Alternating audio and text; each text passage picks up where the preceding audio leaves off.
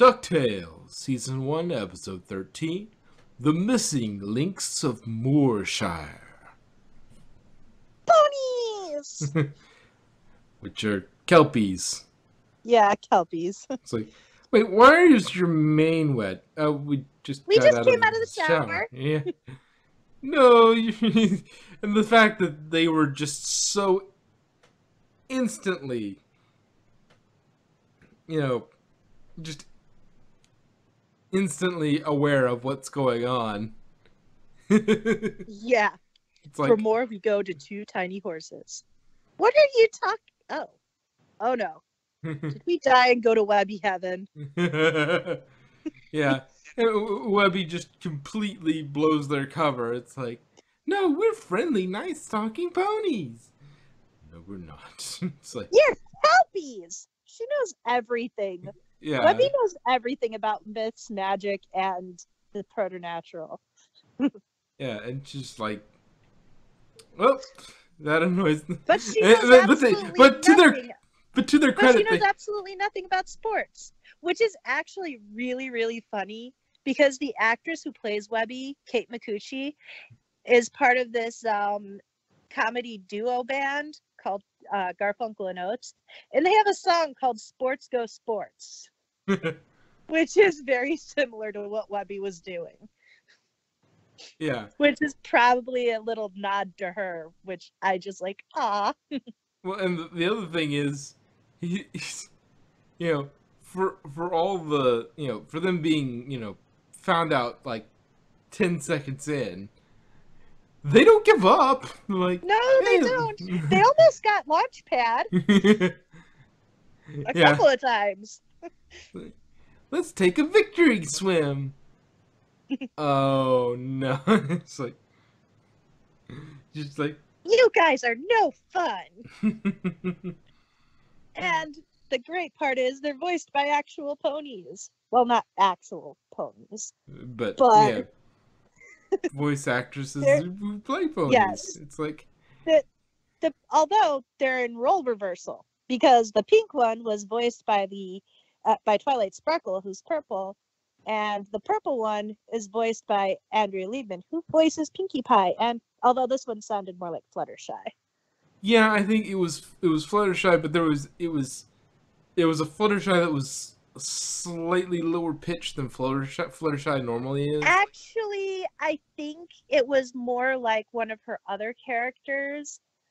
It she plays a character in this Disney Junior show called Super Monsters, I think it's called. My nephew watches it. And he was watching it the other day. I did not see the screen at all, but I heard her voice and it sounded just like the Kelpie. and I'm like, okay, what are you watching? Um, hold on. I I read I heard the name of the um, you know, cause I heard what they were talking about. So I just searched IMDb under Andrea Lee, and I'm like, oh, you're watching that show. You know that character is actually Pinkie Pie. He's like, what? yeah, probably. And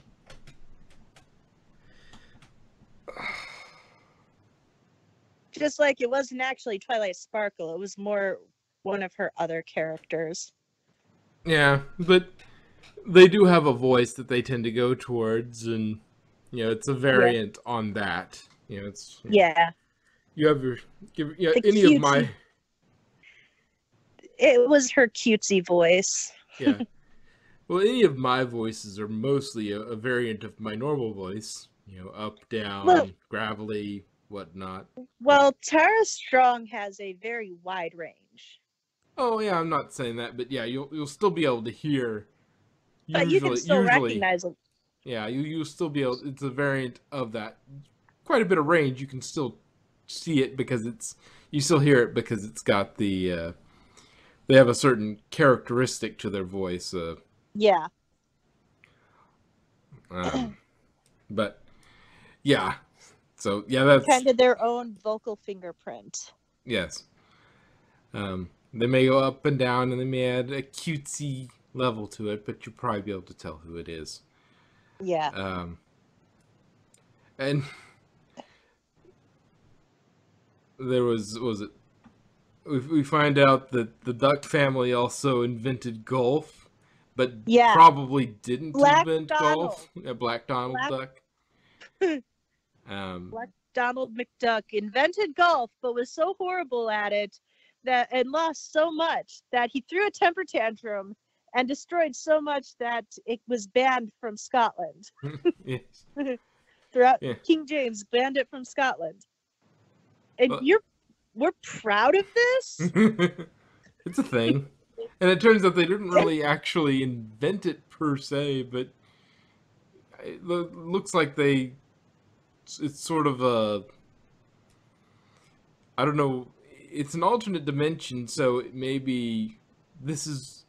There's two two explanations with it. They brought the golf to the alternate dimension, or the no, it alternate dimension explained- already was already there, and they brought that back to the. Uh, to No, they Earth. explained it in the episode, and that was one of the times when they figured it out before the Kelpies explained it. And it's like, and you said all that already. and what happened was Black Donald, because of it being banned, created the alternate Okay, uh, dimension. they, they, I don't know that they ever. That I don't remember them actually ever confirming that. It was just sort of said, but I didn't know whether they'd actually confirmed it. Well, But, okay. they they said Oh. all uh, they they said it all, and then the Kelpies were like, "Oh, it's something else. You know, no, anyway. they said they started, and they're they're like, "Wait, you said all that already." But anyway, uh, Dewey is Dewey made the game sound a lot more interesting than it is, honestly.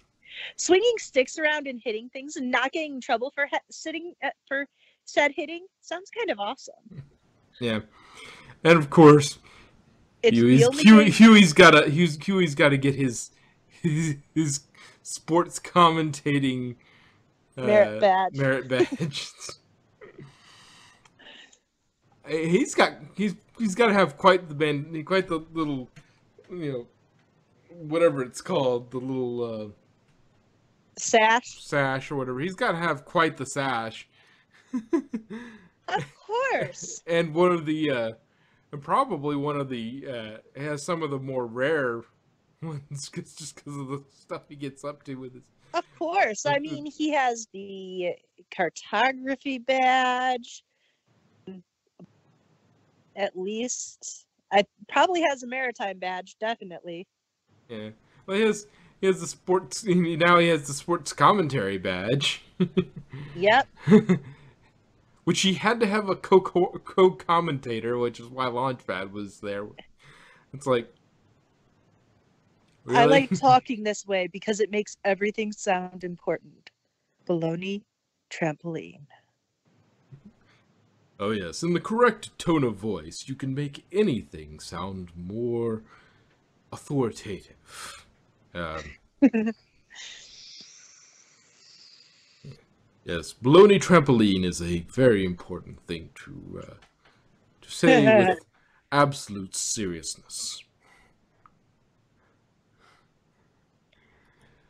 Uh, um, Glomgold hired Tiger Woods and fired him.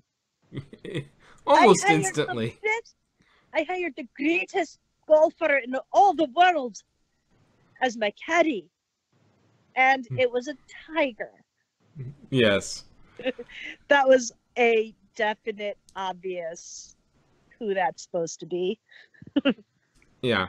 Um, and just the was it Dewey? I think it was Louis, Dewey with the with the the was the caddy? Was it? no, Louis Was it the caddy. Dewey Louis. was the one who actually played with Scrooge. Okay, yeah. Okay, but yeah, L- Louis, just Louis, Louis is all about the green. yeah, and he he uh, Llewellyn, uh, you know, constantly Don't use my real name. constantly uh like always has his hand out for the tips. I Yeah. took by the hole. He should never have said that. yes. So, so Caddy, what do you suggest? Hit. Why don't you hit the ball in the hole? Hit the ball in the hole. I was totally overthinking, and he hits it. It stayed on the grounds, and it wasn't on fire, which Wouldn't- makes me kind of wonder how, why, what. how did you how did you get a golf ball on fire? Right? How did that happen? Well, Golf balls aren't flammable, as far as I, know. I mean, I suppose anything's flammable in the right conditions, but That that's kind of like me Almost catching anything. water on fire. yeah. I can burn water. Hmm. Does anyone else think we should ignore the murder po- horses and just go home? Oh, murder horses. yes. If they if they killed them by uh, by hitting them instead of uh, trying to drown them, they'd be pommel horses. Pommel horses. Yeah. Hmm. No. No. Would it be Uh, Coco Pommel? Uh-uh, that's Miss Pommel, Pomel at this point because I think they had some problem with legal Oh yeah, issues. the They, so they're not Yeah. they're not allowed to call her Coco Pommel. They're, they they can call her Miss Pommel, and that's fine. Mm. But you cannot call her Coco Pommel. it's kind of like UNIT where the uh they used to be when they originally started and all the way up until the new series they were the united nations intelligence task force and then at some point after 2005 the united nations got all pissy about it and they're like yeah no you you can't use our name anymore that's just no mm-hmm. and so it's now the Unified Intelligence Task Force. yeah. Anyway, And Dewey is a natural at golf. apparently, even with the subpar clubs. Yeah. Well, those are the clubs specifically for those balls. Yeah. You got to hit balls with the right sticks, otherwise, it doesn't work. But Pull a club out of a Scotsman's hand, you'd better knock him out with it.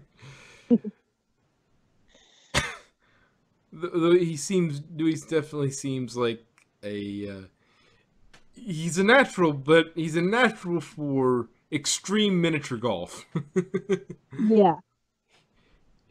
he'd probably look at normal golf course as pretty freaking boring Yeah. He he likes the challenge of it and not just the oh, I hit the ball and let it roll down the green. That's boring.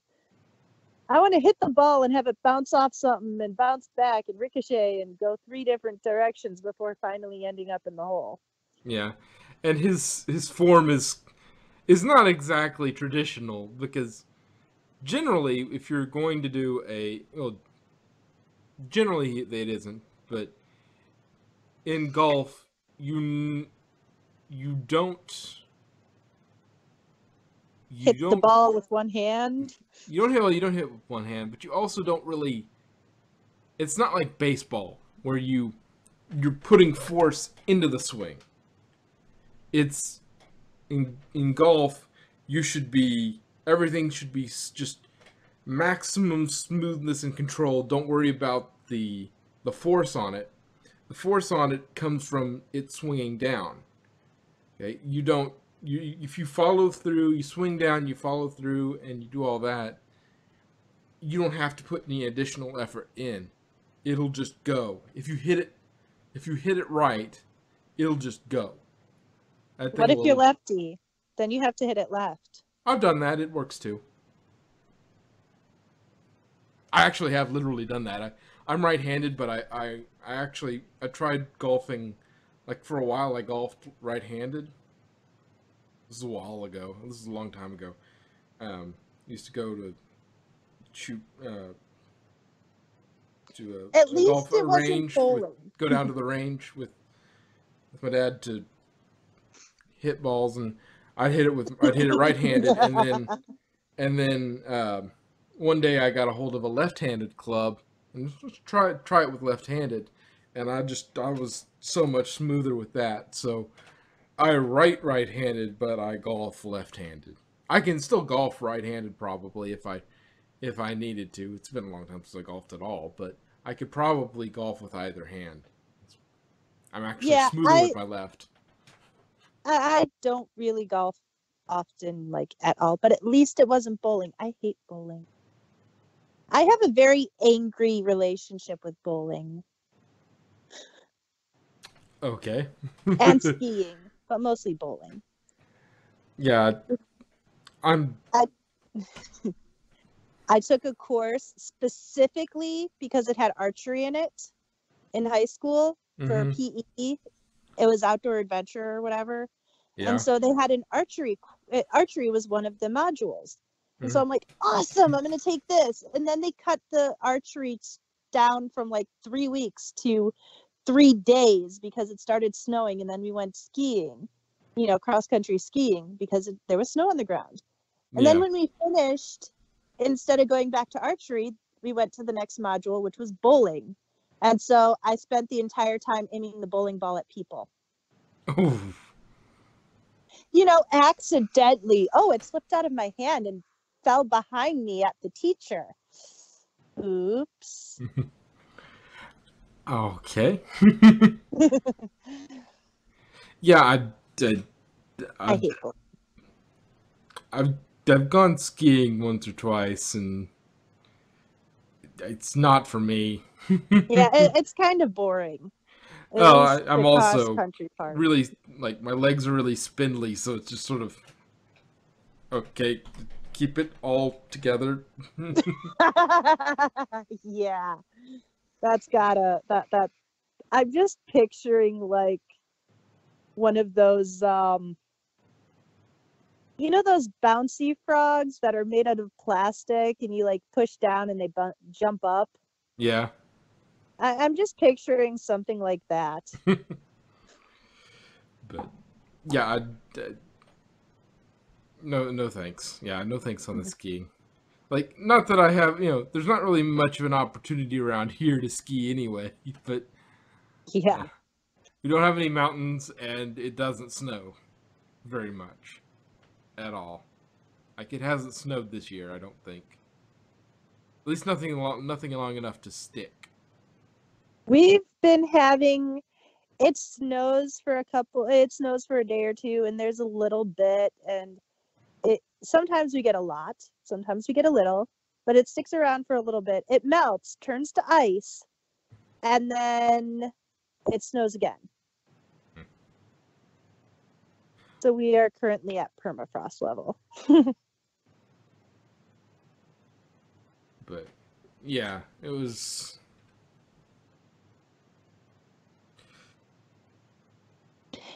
This is kind of funny and a very interesting segue. One of my, uh, the very next thing on my list of notes is Flintheart chatters too much. He probably could have won if he didn't keep talking. Wanting to enjoy, uh, you know, revel in the victory Yes. made Eh, him lose. Yes. If that, that, that's often uh, the downfall of the villain is monologuing. Yeah. You Or caught me monologuing. I love it when they they're like there were a few times in Doctor Who at least where it's like, don't you want to, you know, monologue, tell us what you're gonna do and blah blah blah. No, no, I don't. it doesn't matter. You're not gonna live to see it anyway. Don't you want to gloat? No, no, no, not especially. I got time to gloat when you're dead. Oh, yeah. Quick, everybody, we need to support Scrooge. Why? He hasn't supported me all day. No, I mean we have to support Scrooge. Not everything is a life lesson. Oh wow, yeah. I'm gonna have to. This is gonna suck. This is gonna be. I forgot to. I was looking at the the pictures for my uh, different title cards, the Mhm. cards, and I didn't switch turn it on on the stream itself. So I'm going to have to strip the the audio off of the second part and re-edit it together with Well, the that's new not too bad. I mean, all you really got to do is just. I mean, I don't know what program you're using, but when I used um, Movie Maker to make music videos, really all you got to do is transport the video file into the audio section, and it counts it as an audio file, depending on what you're using. And then you just got to put the picture on the top and stretch it out to the point that you're Well, using. yeah, that's that's all. Well, all I do is I just I cut it up into pe- when last time this happened, I just cut it up into pieces and and uh, take the audio out of it, and then take the audio and put it in, and the, put the video, put the the ta- the the picture in, and then put the audio in, and then stretch it to the thing. It just it's just an extra step that's a little annoying. It's not that hard. It's a little annoying though, and it takes a little also extra time. trying to find where your stopping point is considering you don't have the title card change Yeah. But it'll probably be somewhere in the 30 to 40 minute range, and I'll, I'll probably remember. Just be it'll take a little time to get that too. But once I cut it up, it won't be a big deal. Anyway, uh, back to um, Moorshire. Uh, roger and Louise? sorry it was a rush job we really didn't expect you to win uh, woo! Screwy for life in your face everyone who's not them. Uh, yeah let's let, let's just the two of us next time. We we don't need the crazy fan girl But yeah, do we wanting to go and you know go and actually play golf outside of this context with Scrooge is like, yeah, this could be an interesting bonding moment for them. Well, Uh, there you have it, folks. Scrooge put aside his ego and learned that a teacher's pride should not be in himself, but in his students. Wow, that's actually a good insight. I'm impressed, Launchpad. And you're choking on golf balls. They They look just like so tasty, tasty. Eggs. They looked like tasty eggs. I resisted for so long. More of Launchpad being sweet, innocent Launchpad. Hmm. He is just so adorable. Ah. well, anything left on this one? I love how deep these characters are. They have like you have the ditzy, sweet, innocent Launchpad who's actually got a deep personality that you that's just there, but you don't actually notice it because of how simple the rest of him is. and then you have Webby who's all like so so freaking insane that and she seems she jumps between sweet and innocent and adorable to i'm gonna murder her and break i'm gonna break every bone in her body or just tie her up. We'll see how it goes. Yeah, she's she's she's ten pound ten pounds of crazy in a two pound bag labeled sweet. yeah she's sugar laced with arsenic But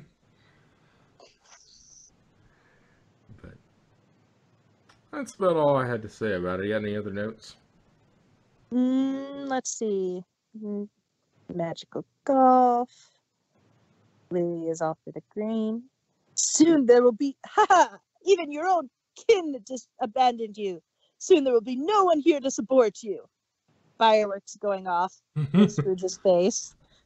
Uh, and the the the fact that if you think about it, he's not really supporting him as much as just extorting him.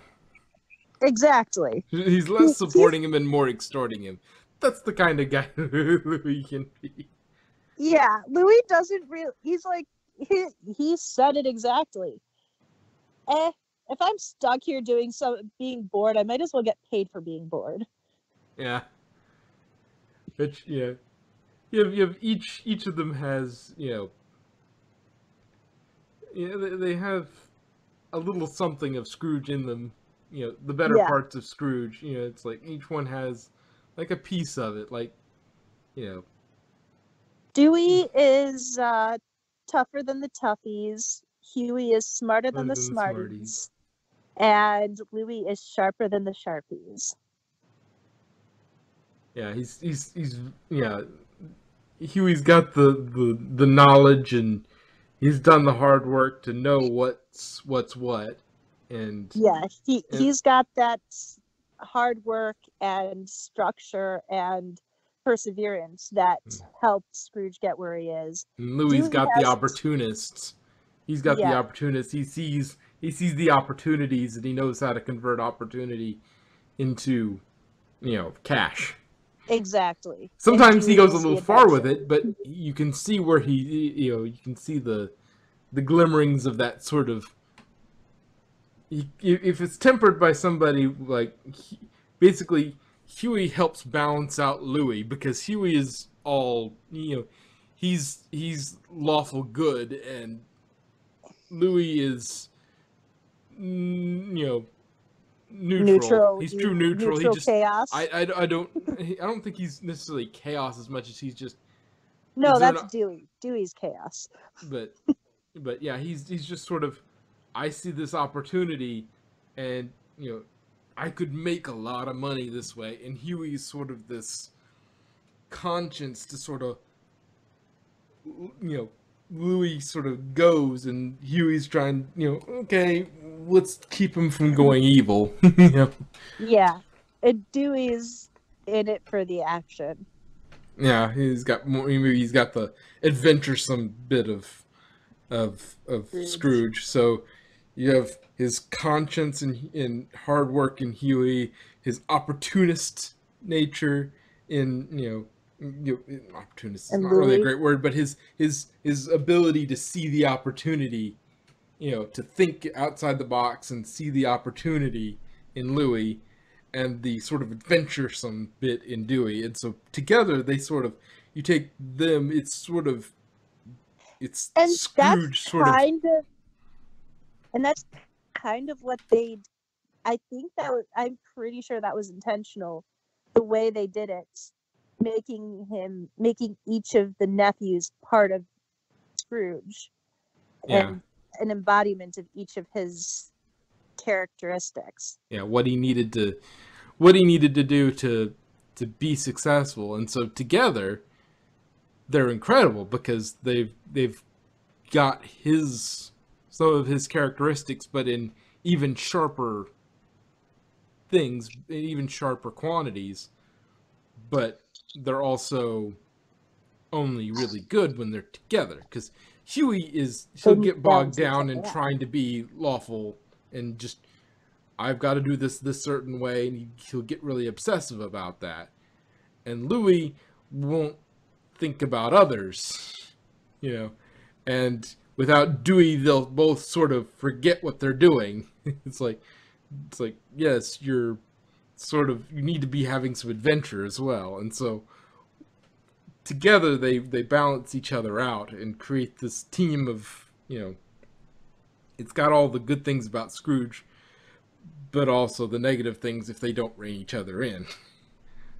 and then there's webby who's just like terrifying to all of them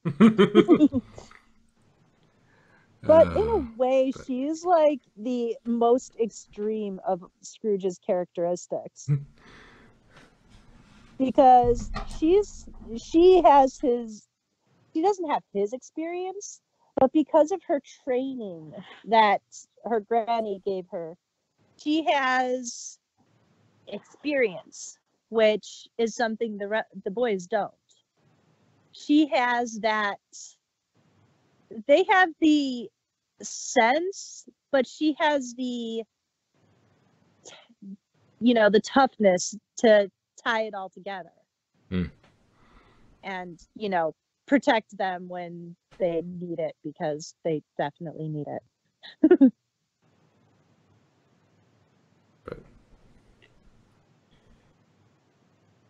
Whew. and that is all i have for that That's all I got to say about that. well there you have it folks